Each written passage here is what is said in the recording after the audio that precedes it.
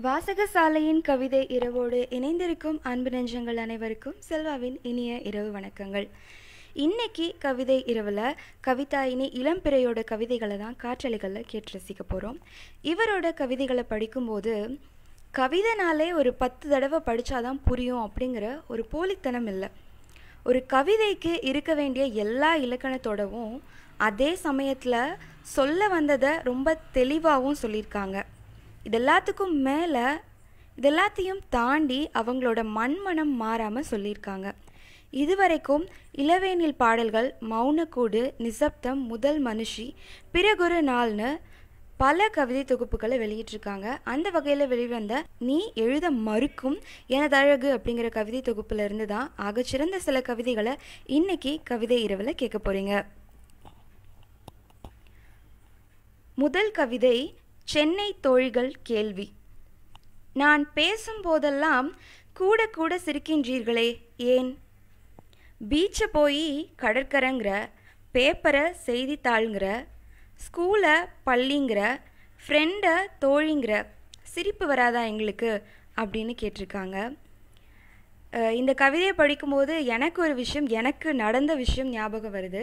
இது வந்து எனக்குன்னு இல்லை அதாவது வெளி மாநிலங்கள் வெளி மாநிலங்கள்னு சொல்கிறத விட தமிழ்நாட்டோட மற்ற மாவட்டங்கள்ல இருந்து சென்னைக்கு வர பல பேருக்கு வந்து இந்த அனுபவம் வந்து கண்டிப்பாக இருந்திருக்கும். நான் வந்து ஒரு வருஷம் ஹாஸ்டலில் தங்கி சென்னையில் படிச்சுட்டு இருந்தப்போ போய் ஒரு ரெண்டு மூணு மாதம் இருக்கும். அப்போது என் கூட படித்த ஒரு பொண்ணு வந்து என்கிட்ட வந்து கேட்டாங்க. உங்களுக்கு சென்னை பிடிச்சிருக்கா? அப்படின்னு கேட்டிருக்காங்க கேட்டாங்க. நான் சொன்னேன் எனக்கு சில சமயம் பிடிக்கும் சில சமயம் பிடிக்காது அப்படி சொன்னேன். அவங்க விழுந்து விழுந்து பயங்கரமாக சிரிச்சாங்க. நான் கேட்டேன் ஏன் ராஜி இப்படி சிரிக்கிறீங்க? நான் எதுவும் தப்பாக சொல்லிட்டேனா? அப்படின்னு கேட்டதுக்கு மறுபடி சொல்லுங்கள் அப்படின்னு கேட்டாங்க. உடனே நானும் சொன்னேன் சில சமயம் பிடிக்கும் சில சமயம் பிடிக்காது இவ்வளோ தானே அப்படின்னு கேட்டதுக்கப்புறம் தான் அவங்க சொன்னாங்க நாங்கள் வந்து சாவை வந்து சேன் சொல்லுவோம் வந்து சேன் சொல்கிறீங்க அப்படின்னு சொன்னாங்க. ஒரு சின்ன அந்த வட்டார வழக்கில் ஆரம்பித்து பெரிய பெரிய விஷயங்கள் வரைக்கும் நடந்துட்டுருக்கு. இது இப்போன்னு இல்லை இவங்க தொண்ணூறுகளில் இந்த கவிதையை எழுதியிருக்காங்க. அப்போ ஆரம்பித்தது இந்த நாள் வரைக்கும் இப்போ வரைக்கும் இதே விஷயங்கள்லாம் வந்து நடந்துட்டு தான் இருக்குது அப்படிங்கிறது தான் இந்த கவிதையை படிக்கும்போது ஞாபகம் வந்துச்சு. சமீபமாக ஜீ தமிழில் அந்த சேனலில் தான் கருப்பழனியப்பன் நடத்துகிற அந்த தமிழா தமிழால கூட இதே ஒரு தலைப்பை வச்சு நடத்தினாங்க. வெளி மாவட்டங்கள்லேருந்து வர்றவங்களுக்கும் சென்னை பொண்ணுங்களுக்கும் இருக்கிற வித்தியாசம் என்ன? அவங்க என்ன மாதிரிலாம் பண்ணிக்கிறாங்க அப்படின்னு கேட்டப்போ நிறைய விஷயங்கள் அந்த பொண்ணுங்க வந்து ஷேர் பண்ணிக்கிட்டாங்க. அதாவது வெளி மாவட்டங்கள்லேருந்து வந்த பொண்ணுங்க. அதுக்கு வந்து சென்னை பொண்ணுங்க வந்து நீங்கள் இவங்க இந்த மாதிரிலாம் பண்ணுறாங்கன்னா எந்த மாதிரி பண்ணுறது வந்து உங்களுக்கு ரொம்ப காமெடியாக இருக்கும் அப்படின்னு கேட்டதுக்கு ஒரு பொண்ணு என்ன பதில் சொன்னாங்க அப்படின்னா இவங்க வந்து ஊர்லேருந்து வரும்போது சுடிதாரும் ட்ரெஸ்ஸு saree எல்லாம் போட்டு வருவாங்க. ஆனால் இங்கே வந்ததுக்கப்புறம் வந்து ஜீன்ஸு டாப்ஸுன்னு மாறிடுறாங்க. அது எங்களால் ஏற்றுக்கவே முடியல அப்படின்னு அந்த பொண்ணு சொன்னாங்க. ரொம்ப ஆச்சரியமான விஷயம் என்ன அப்படின்னா சூழ்நிலைக்கு தகுந்தாப்புல ஒருத்தங்க தங்களை மாற்றிக்கிறது வந்து ஏன் அவங்களுக்கு பிடிக்கல? ஓ- அப்போ இவங்க வந்து இப்படி தான் இருக்கணும்னு அந்த பொண்ணுங்க அப்படின்னு நினைக்கிறாங்களா? அப்படிங்கிற இதே கேள்வியை வந்து கருப்பழனியப்பன் வந்து அவங்க கிட்ட கேட்டாங்க. இந்த கவிதையை படிக்கும்போது எனக்கு அதுதான் ஞாபகம் வந்துச்சு. நான் பேசும்போதெல்லாம் கூட கூட சிரிக்கின்றீர்களே ஏன்? பீச்சை போய் கடற்கரைங்கிற பேப்பரை செய்தித்தாளுங்கிற ஸ்கூலை பள்ளிங்கிற ஃப்ரெண்டை தோழிங்கிற சிரிப்பு வராதா எங்களுக்கு? அடுத்த கவிதை தீப்பிடிக்கும் வழித்தடங்கள். செடி பார்க்க சொல்லி சுவற்றில் பள்ளி பாரென பார்வை திருப்பி மருத்துவமனை போவதாய் பொய்யுரைத்து குழந்தையை ஏமாற்றி அழவிட்டுச் செல்லும் தாயின் வழித்தடங்கள் தீப்பிடித்து கொள்கின்றன. எத்தனையோ மயில்கற்களுக்கு அப்பால் செய்யும் அமைதியற்ற வேலைகளில் கேட்டுக்கொண்டே இருக்கும் அந்த கேவல் சத்தம் அவளுக்கு மட்டும். தாய்மையை இதை விட யாரும் வந்து ரொம்ப எளிமையாக அதே சமயம் ரொம்ப ஆழமாக சொல்லிட முடியாது. நான் முதல்ல இவங்கள பற்றி சொல்லியிருந்தப்போ சொன்னது இதுதான். எந்த ஒரு பாசாங்கும் இல்லாமல் நடக்கிற விஷயத்த ஒரு போலித்தனமே இல்லாமல் அப்படியே வந்து கவிதைகளில் சொல்ல முடியுமா அப்படிங்கிறது ரொம்ப ஆச்சரியமாக இருந்துச்சு. நம்ம எவ்வளோ பெருசாக வளர்ந்தாலும் சரி நமக்கு எழுக்கிறது வயசானாலும் சரி நம்ம அம்மா அப்பாவுக்கு நம்ம எப்போவுமே வந்து குழந்தைங்க தான்.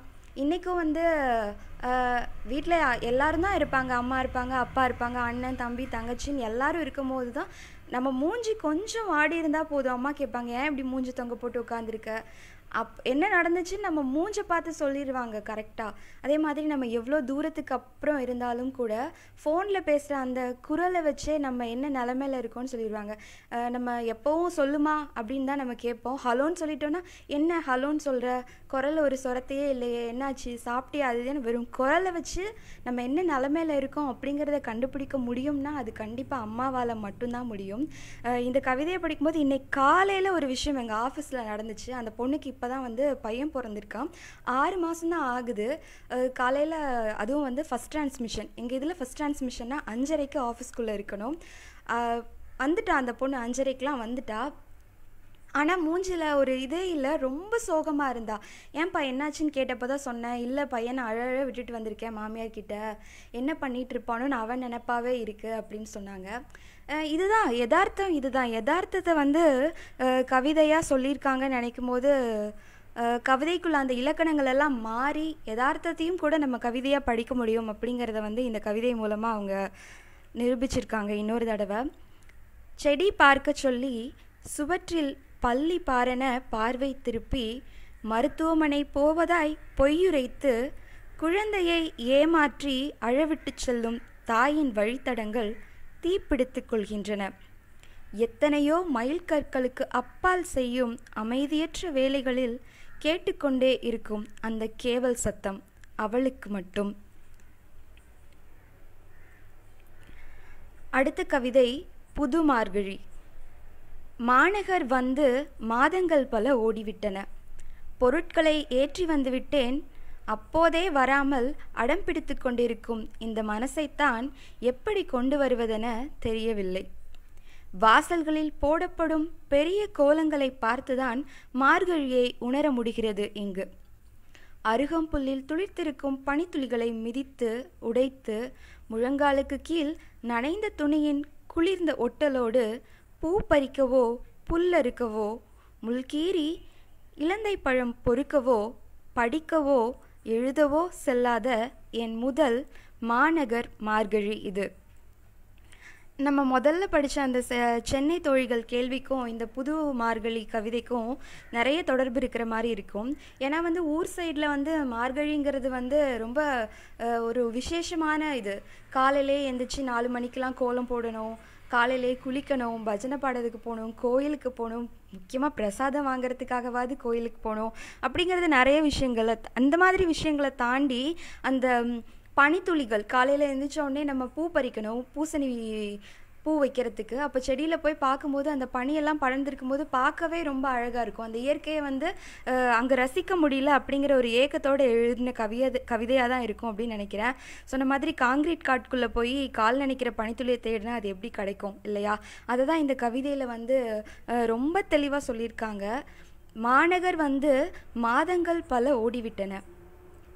பொருட்களை ஏற்றி வந்துவிட்டேன் அப்போதே. வராமல் அடம் பிடித்து கொண்டிருக்கும் இந்த மனசைத்தான் எப்படி கொண்டு வருவ வருவதென தெரியவில்லை. வாசல்களில் போடப்படும் பெரிய கோலங்களை பார்த்துதான் மார்கழியை உணர முடிகிறது இங்கு. அருகம்புல்லில் துளிர்த்திருக்கும் பனித்துளிகளை மிதித்து உடைத்து முழங்காலுக்கு கீழ் நனைந்த துணியின் குளிர்ந்த ஒட்டலோடு பூ பறிக்கவோ புல்லறுக்கவோ முள்கீறி இலந்தை பழம் பொறுக்கவோ படிக்கவோ எழுதவோ செல்லாத என் முதல் மாநகர் மார்கழி இது அப்படின்னு சொல்லி இந்த கவிதையை முடிச்சிருக்காங்க. அடுத்த கவிதை இது கண்டிப்பாக நிறைய பேருக்கு பிடிச்ச ஒரு கவிதை காதலை பற்றின ஒரு கவிதை எழுதியிருக்காங்க. நட்சத்திரங்கள் உதிர்ந்து கிடக்கும் இரவு நதி அறுக்கவும் கட்டவும் முடியாத நினைவு விளைச்சல் மழையில் பற்றும் தீ ஆன்மாவில் பதிந்து கிடக்கும் இரத்தின கற்கள். பெருங்கூட்டத்தின் தனிமை. எல்லாவற்றையும் தொலைத்து தடுமாறும் தன்னை தொலைக்க முடியாத தவிப்புகளுடன் காதல். இதில் இருக்க ஒரு விஷயம் கூட சாத்தியமில்லாத ஒரு விஷயம். மழையில் பற்றும் தீ பெருங்கூட்டத்தின் தனிமை நடக்க முடியாத விஷயம் அப்படிங்கிறத விட ரொம்ப இது வந்து இந்த ஆட்மேன் அவுட்டில் சொல்கிற மாதிரி இது ரொம்ப வித்தியாசமான ஒரு விஷயம். இதெல்லாம் தான் காதல் அப்படின்னு ரொம்ப எளிமையான வார்த்தைகளில் வந்து சொல்லியிருக்காங்க. நட்சத்திரங்கள் உதிர்ந்து கிடக்கும் இரவு நதி. அறுக்கவும் கட்டவும் முடியாத நினைவு விளைச்சல். மழையில் பற்றும் தீ. ஆன்மாவில் பதிந்து கிடக்கும் இரத்தின கற்கள்.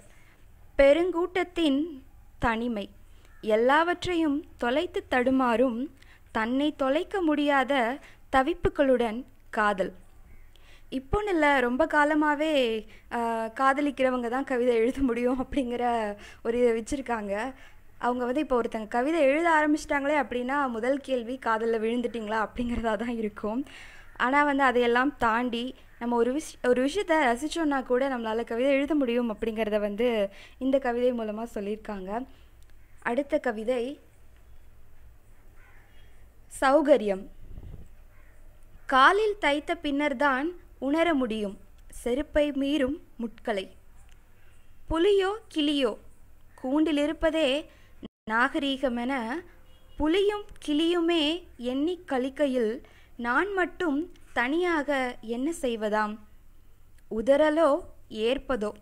நெஞ்சுக்குள் செய்து கொண்டு உன்னிடம் கூட சொல்லாது வாழ்வதே உயர்ந்த வாழ்வு என்பதை விட இங்கு வேறென்ன சௌகரியம் சொல்? அப்படின்னு கேட்டிருக்காங்க.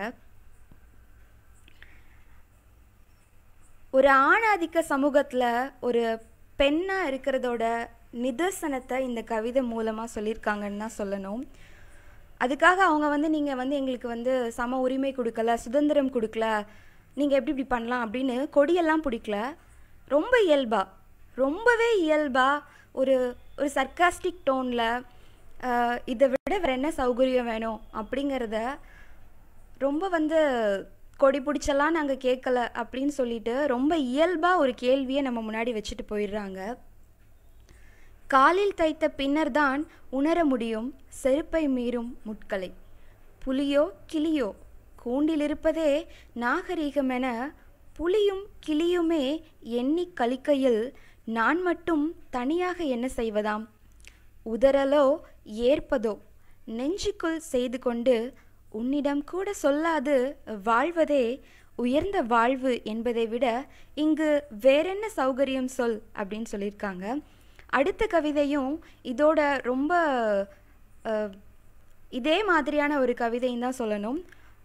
முழுமை அந்த கவிதையோட தலைப்பு எப்பவும் நீ எழும்பவும் திரும்பவும். கடிகார சதுரத்தின் மும்முள் நான். என்னுள் நிறைவேறும் உன் விருப்பங்களே தண்டனைகளாக.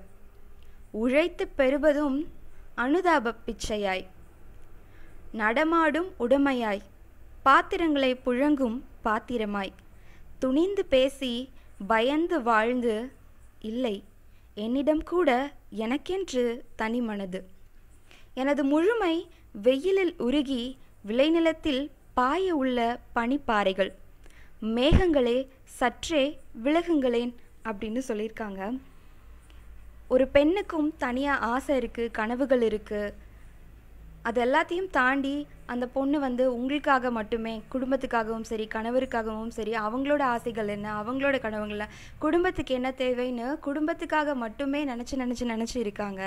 எனக்கும் மனசு இருக்குது நானும் முழுமை அடையணும்னா எனக்குன்னு சில கனவுகளை நிறைவேற்றினா தான் அதை நான் அடைய முடியும் அப்படின்னு சொல்லி வெயிலில் உருகி விளைநிலத்தில் பாய உள்ள பனிப்பாறைகள் அப்படிங்கிறது தான் எனது முழுமை அப்படின்னு சொல்லி மேகங்களே சற்று விலகுங்கள்னு எங்களுக்கும் கொஞ்சம் வழி கொடுங்களேன்னு கேட்டிருக்காங்க. முழுமை எப்பவும் நீ எழும்பவும் திரும்பவும். கடிகார சதுரத்தின் மும்முள் நான். என்னுள் நிறைவேறும் உன் விருப்பங்களே தண்டனைகளாக. உழைத்து பெறுவதும் அனுதாப பிச்சையாய். நடமாடும் உடமையாய். பாத்திரங்களை புழங்கும் பாத்திரமாய்.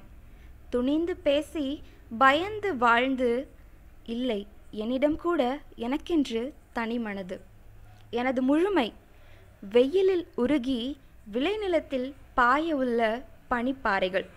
மேகங்களே சற்றே விலகுங்களேன் அப்படின்னு சொல்லியிருக்காங்க. அடுத்த கவிதை நிஜம். பழைய சினிமா போல் தாமரை குளத்தில் பாடிக்கொண்டு குளிப்பது போலவோ புது சினிமாவைப் போல் அசைவுக்கொரு ஆடை மாற்றி பூங்காக்களில் ஆடுவது போலவோ ஒரு நாள் கூட ஒரு கனவு கூட வந்ததில்லை எனக்கு. இதில் வந்து சொல்கிறதுக்கு எதுவுமே இல்லை. இதுதான் வாழ்க்கையோட நிஜம் அப்படின்னு சொல்லியிருக்காங்க. சினிமாவில் பார்க்குற மாதிரி எதுவுமே கிடையாது. முத முதல்ல காலேஜ் போகும்போது எங்கள் ப்ரொஃபஸர் சார் காலேஜ்குள்ளே போயிட்டு எல்லாம் காலேஜ் எல்லாம் சுற்றி பார்த்துட்டு கிளாஸ்க்குள்ளே போயிட்டு எல்லோரும் உட்காந்ததுக்கப்புறம் சொன்ன முதல் வார்த்தை இன்றைக்கும் எனக்கு ஞாபகம் இருக்குது இந்த சினிமாவில் வர மாதிரிலாம் காலேஜ் இருக்கும் அப்படிங்கிற ஒரு நினப்பெல்லாம் இருந்துச்சுன்னா அதை வந்து கிளாஸ் ரூமுக்கு வெளியே விட்டுட்டு கிளாஸ் ரூம்குள்ளே வந்து உட்காருங்க அப்படின்னு சொன்னாங்க. அந்த நிஜம் அதுதான் உண்மை அப்படிங்கிறத இந்த கவிதை மூலமாக சொல்லியிருக்காங்க. நிறைய பார்த்துருப்போம் பழைய சினிமாவில் அந்த கொ குளத்துல வந்து தாமரைப்பூவெல்லாம் பூத்து நிற்கும் அதில் வந்து பாடிக்கிட்டே குளிக்கிற மாதிரி. அதுக்கப்புறம் வந்துட்டு அதுக்கப்புறம் அது வந்து பழைய சினிமா. அதுக்கப்புறம் நம்ம புது சினிமாவை எடுத்துக்கிட்டோன்னா ஒரு ஒரு இதுக்கும் ஒரு ஒரு பல்லவிக்கும் ஒரு ஒரு சரணத்துக்கும் வேறு வேறு ட்ரெஸ் எல்லாம் மாற்றிக்கிட்டு காஸ்டியூம் எல்லாம் மாற்றிக்கிட்டு வந்து நடப்பாங்க. அந்த மாதிரி ஒரு கனவு கூட வந்ததில்ல அப்படின்னு சொல்லியிருக்காங்க. பழைய சினிமா போல் தாமரை குளத்தில் பாடிக்கொண்டு குளிப்பது போலவோ புது சினிமாவைப் போல் அசைவுக்கொரு ஆடை மாற்றி பூங்காக்களில் ஆடுவது போலவோ ஒரு நாள் கூட ஒரு கனவு கூட வந்ததில்லை எனக்கு அப்படின்னு சொல்லியிருக்காங்க.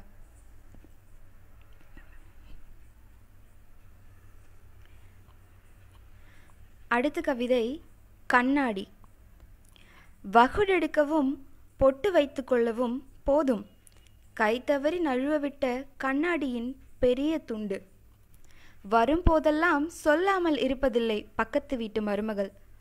உடைஞ்ச கண்ணாடியில் முகம் பார்த்தா குடும்பத்துக்கு ஆகாது ஆகாமல் போவதற்கு ஒன்றுமில்லை என்பது அறிந்தும் சரி என்னதான் இருக்கிறது? எனக்கும் அவளுக்கும் பேசிக்கொள்ள இருந்துவிட்டு போகட்டுமே ஓர் உடைந்த கண்ணாடி துண்டாவது. அப்படின்னு சொல்லியிருக்காங்க. பேசுறதுக்கு எந்த பாடுபொருளுமே இல்லை. ஒருத்தங்களுக்கிட்ட பக்கத்து வீட்டில் இருக்கவங்க அவங்க சொல்கிறாங்க உடஞ்ச கண்ணாடியில் முகம் பார்த்தா குடும்பத்துக்கு ஆகாது அப்படின்ட்டு. அப்படியெல்லாம் ஆகாமல் போகிறதுக்கெலாம் ஒன்றும் இல்லை. நீ என்கிட்ட பேசுகிறதுக்காக ஆகுது அந்த உடஞ்ச கண்ணாடி துண்டு வந்து வீட்டில் இருக்கணும் இருந்துட்டு போட்டுமே அப்படின்னு சொல்லியிருக்காங்க. வகுடெடுக்கவும் பொட்டு வைத்து கொள்ளவும் போதும்.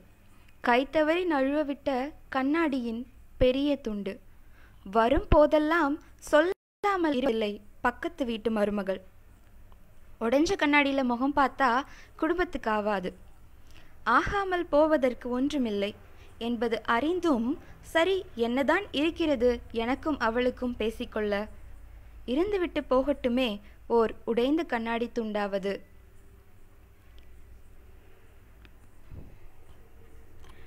அடுத்த கவிதை மாற்றம். பாரதிதாசன் பெண்களை குடும்ப விளக்கென்று சொன்னாலும் சொன்னார் நம்மவர்கள் எண்ணெய் ஊற்றி எரித்தே விடுகிறார்கள். அடுக்களை நெருப்பில் அன்றாடம் நின்றும் நம் உணர்வுகள் இன்னும் சூடேறவில்லையடி. இதுவும் வந்து பெண்ணியத்துக்கான ஒரு கவிதை தான் இது அவங்க அவங்கள பார்த்து ஆண்களை பார்த்தோ இல்லை ஆணாதிக்க சமூகத்தை பார்த்தோ எந்த கேள்வியும் கேட்கல பெண்களை பார்த்து ஒரே ஒரு கேள்வி எழுப்புறாங்க. இன்னும் வந்து நம்ம இப்படி தான் இருக்கோமா? நம்ம உணர்வுகள் வந்து என்னைக்கு தான் வந்து அவங்கள வந்து நம்மளோட சுதந்திரத்தை நம் அவங்கக்கிட்ட கேட்க வைக்கும் அப்படிங்கிற மாதிரி ஒரு கேள்வியை முன்னிறுத்தி பெண்கள்கிட்ட கேட்குற மாதிரியான கவிதையாக இதை எழுதியிருக்காங்க. பாரதிதாசன் பெண்களை குடும்ப விளக்கென்று சொன்னாலும் சொன்னார். நம்மவர்கள் எண்ணெய் ஊற்றி எரித்தே விடுகிறார்கள். அடுக்களை நெருப்பில் அன்றாடம் நின்றும் நம் உணர்வுகள் இன்னும் சூடேறவில்லையடி.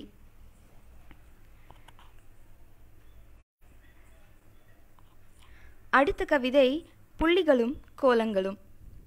புள்ளி தடுமாறி வரிசை வளைந்து போட நேர்ந்த கோலங்களின் கோடுகள் துண்டப்பட்டு நிற்கும். சந்திக்க முடியாமல்.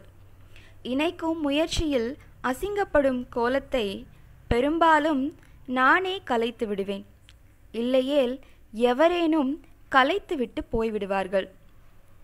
இந்த கவிதையில் அவங்க என்ன சொல்லியிருக்காங்கன்னா காதலோட பிரிவு அதை பற்றி தான் சொல்லியிருக்காங்க. இன்னைக்குன்னு இல்லை எப்போவுமே வந்து காதல் வந்து ஒரு தனி மனுஷங்களுக்கு இழப்பையும் இலக்கியத்திற்கு கண்டிப்பாக ஒரு படைப்பையும் தான் கொடுத்துட்டு போகும். அந்த வகையில் இந்த கவிதையும் இலக்கியத்திற்கு ஒரு படைப்பு தான் சொல்லணும். ஏதோ ஒரு பிரச்சனைனால அந்த உறவு கூட நம்ம சேர முடியாமல் போயிருந்தாலும் கூட அதை சேர்க்கறதுக்கு நான் எவ்வளோ தான் முயற்சி எடுத்தாலும் அந்த முயற்சியில் எனக்கு தன்மானத்துக்கு இழுக்கே இருந்தாலும் கூட அது ஒரு லெவலுக்கு மேலே போகும்போது அதை நானே அல அந்த ரிலேஷன்ஷிப்பை நானே முடிச்சுக்கிறேன். இல்லாத பட்சத்தில் அடுத்த எண்டில் இருக்கவங்க அதை முடிச்சுட்டு போயிடுறாங்க அப்படின்னு சொல்லியிருக்காங்க. புள்ளி தடுமாறி வரிசை வளைந்து போட நேர்ந்த கோலங்களின் கோடுகள் துண்டுப்பட்டு நிற்கும் சந்திக்க முடியாமல். இணைக்கும் முயற்சியில் அசிங்கப்படும் கோலத்தை பெரும்பாலும் பெரும்பாலும் நானே கலைத்து விடுவேன். இல்லையேல் எவரேனும் கலைத்துவிட்டு போய்விடுவார்கள். அப்படின்னு சொல்லியிருக்காங்க. இதே மாதிரி தான் அடுத்து வந்த கவிதையும் இருக்கு. சற்றைக்கெல்லாம் மறந்து விடுகிறது. இதுதான் கவிதையோட தலைப்பு. யாரோ வானதற்கு பிந்தைய உன் வருகை சிறுநீர் கழித்து கொண்டிருப்பவனை கடந்து செல்லும் சங்கடமாய் சற்றைக்கெல்லாம் மறந்து விடுகிறது. வலிய நினைத்தாலும் அதிர்வுகளை விருப்பங்களை ஏற்படுத்த முடியாது. வெட்கி நழுவி விடுகின்றன அன்புற்றிருந்த நாட்கள். பல மாதங்களுக்கு முன் மஞ்சள் பூ மரத்திலிருந்து அழகால் தன் சிறகு கோதி சற்றமர்ந்து போன சிறுகுருவி இன்றும் படப்படைக்கிறது நெஞ்சுகள் அப்படின்னு சொல்லியிருக்காங்க. ஒரு ரிலேஷன்ஷிப் முடிஞ்சு போயிடுச்சு முடிஞ்சதுக்கப்புறம் எதுவுமே இல்லைன்னு ஆனதுக்கப்புறம் அவங்கள நம்ம பார்க்கும்போது அந்த நினைவுகள் எப்படி இருக்கும் அப்படிங்கிறத இந்த கவிதை மூலமாக சொல்லியிருக்காங்க. கொஞ்ச நாளைக்கு தான் அந்த நினைவுகள்லாம் இருக்கும் இல்லையா? அது யாராகவே இருந்தாலும் சேர முடியாதுங்கிற பட்சத்தில் பிரிஞ்சதுக்கப்புறம் நிறைய நாட்கள் நம்ம ஏங்கியிருப்போம் அந்த நம்பர்லேருந்து ஒரு மெசேஜ் வராதா? ஒரு கால் வராதா? கூப்பிட மாட்டாங்களா? பேச மாட்டாங்களா? அப்படின்லாம். ஆனால் வந்து எல்லாமே முடிஞ்சு இல்லை இனிமேல் பேசுகிறதுக்கு எதுவுமே இல்லை அப்படிங்கிற ஒரு நிலமை வந்ததுக்கப்புறம் அந்த நம்பரை நம்ம ஃபோனில் பார்க்கும்போது கூட அதே நம்பர்லேருந்து ஒரு காலும் வந்திருந்தாலும் கூட அவங்களோட நினைவுகள் நம்மளை எந்த விதத்துலேயும் பாதிக்கிறதே இல்லை. எந்த சலனமுமே நம்ம அப்ப அப்பக்கிட்ட இருக்கிறதே இல்லை. வழியை நினைத்தாலும் அதிர்வுகளை விருப்பங்களை ஏற்படுத்த முடியாது. வெட்கி நழுவி விடுகின்றன அன்புற்றிருந்த நாட்கள். சில சமயம் நம்ம நினைப்போம் அப்போ எவ்வளோ சந்தோஷமாக இருந்தோம் அந்த நிமிஷங்கள் எவ்வளோ நல்லா இருந்துச்சு அப்படின்லாம் யோசிக்கும் போது கூட அப்படி நம்ம யோசித்து பார்க்கணும்னு நினச்சாலும் கூட நம்ம பிரிஞ்சதுக்கப்புறம் இதெல்லாம் வந்து எந்த சலனத்தையுமே நம்ம மனசில் ஏற்படுத்தலை அப்படிங்கிறத வந்து காதலோட பிரிவு எந்த வகையில் ஒருத்தங்களை மாற்றிருக்கு அப்படிங்கிறத வந்து இது பண்ணியிருக்காங்க.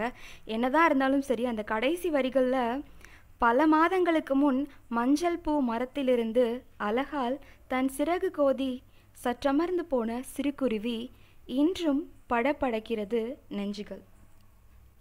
நினைக்கவே கூடாது. இனிமேல் அதை பற்றி நினைக்கவே கூடாது. அவங்கள பற்றி நினைக்கவே கூடாது நம்ம நினச்சிட்டு இருந்தா கூட ஒரு லெ ஒரு ஒரு லெவலுக்கு மேலே எல்லாமே முடிஞ்சு போச்சு அப்படின்னு நினைக்கும் போது அவங்களோட நினைவுகள் கூட நம்மளை எந்த வகையிலுமே பாதிக்காது எந்த வகையிலுமே சலனப்படுத்தாது இருந்தாலும் கூட ஒரு சின்ன படப்படப்பு நம்மளோட இதயத்தில் இருக்குது அப்படிங்கிறத இருக்கும் அப்படிங்கிறதையும் சொல்லியிருக்காங்க இந்த கடைசி வரிகளில். சற்றைக்கெல்லாம் மறந்து விடுகிறது. யாரோ வானதற்கு பிந்தைய உன் வருகை சிறுநீர் கழித்து கொண்டிருப்பவனை கடந்து செல்லும் சங்கடமாய் சற்றைக்கெல்லாம் மறந்து விடுகிறது. வலிய நினைத்தாலும் அதிர்வுகளை விருப்பங்களை ஏற்படுத்த முடியாது.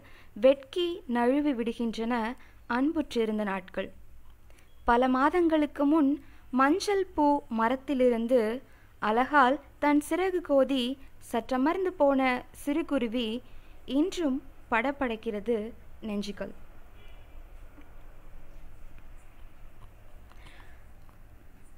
அடுத்த கவிதை. இறந்த பின்பும் ஒரே குழியில் புதைப்பட வேண்டும் என்றெல்லாம் பேசிக்கொண்டவர்கள் நாம். காலம்.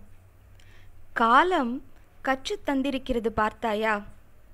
பார்த்தும் எது குறித்தும் பேசாமல் பிரிவதற்கு.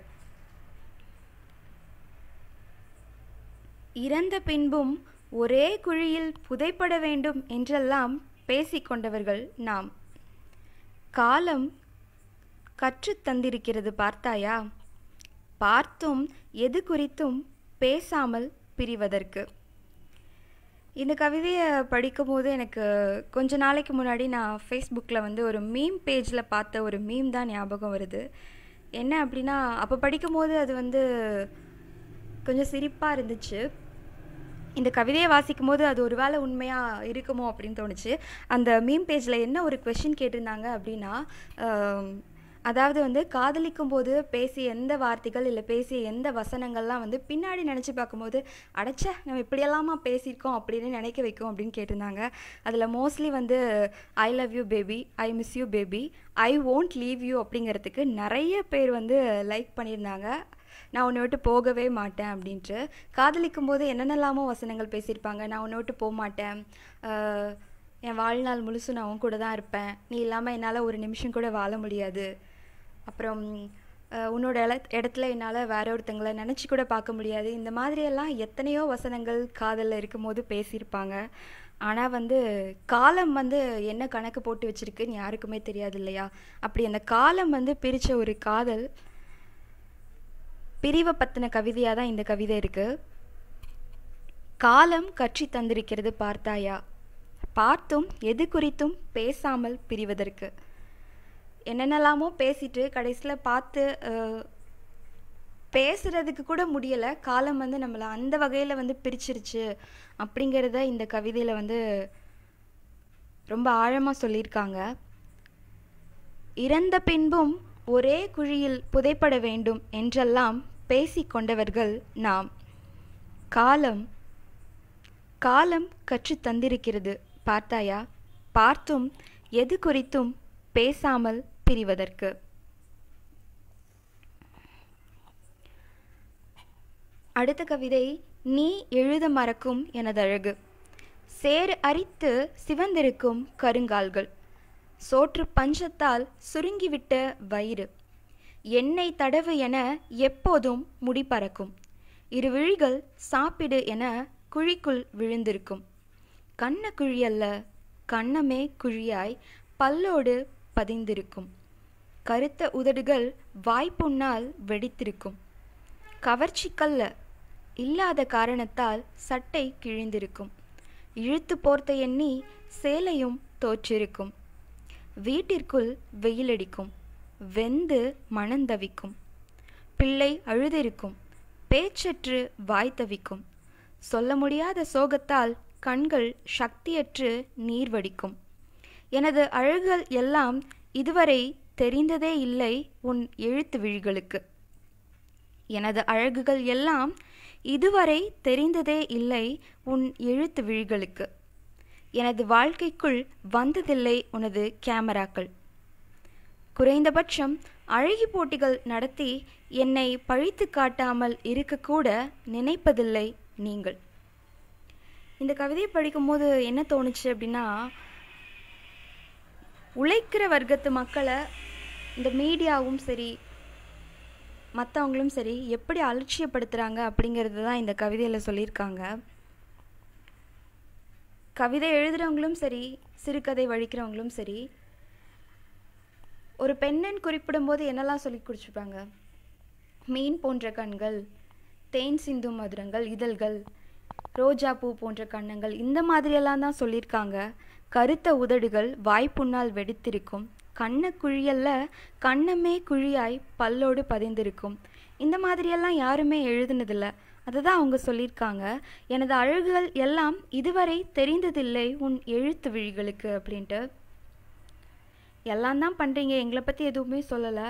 இருந்தாலும் கூட குறைந்தபட்சம் அழகி போட்டிகள் நடத்தி என்னை பழித்து காட்டாமல் இருக்கக்கூட நினைப்பதில்லை நீங்கள் அப்படின்னு சொல்லி இந்த கவிதையை முடிச்சிருக்காங்க. இதுதான் இந்த கவிதையோட இறுதி கவிதை. கவிதை இரவோட இறுதி கவிதை. இன்னைக்கு கவிதை இரவை கேட்டு ரசிச்ச எல்லாருக்குமே ரொம்ப நன்றி. மீண்டும் வாசகசாலையோட இன்னொரு கவிதை இரவில் உங்களை சந்திக்கிறேன்.